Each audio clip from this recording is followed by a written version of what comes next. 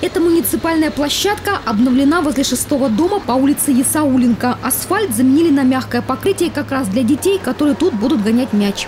А для самых маленьких завезли детское оборудование. Оно еще даже в пленке. Правда, пока детская спортивная площадка под замком. Ожидается торжественное открытие. А вот в районе улицы Фабрициуса уже не площадка, а целый комплекс площадок. Заказчиком является администрация Хостинского района. И в части, значит, в этой территории она уже подразумевает функциональность, сам свое э, такое развитие. Тут есть все зоны, по которым мы устраивать будем каждую группу жителей этого микрорайона. То есть это будет здесь тихая зона, зона спортивная, зона тренажеров и, конечно, детская площадка, которая будет насыщена аттракционными такими детскими. То есть это будет все новое, как вы видите, здесь все с нуля начато, и работа, как получается, уже тут масштабная реконструкция этого сквера.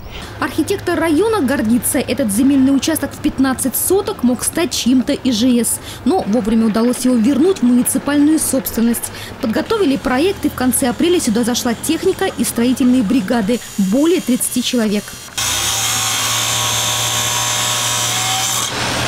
Местные жители волновались, не очередная ли многоэтажка возводится, но оказалось подарок детям. Работы здесь не прекращаются ни на один день, а начались они месяц назад. И уже через 10 дней объект должен быть сдан в эксплуатацию. Так обещают строители к 1 июня, Международному дню защиты детей.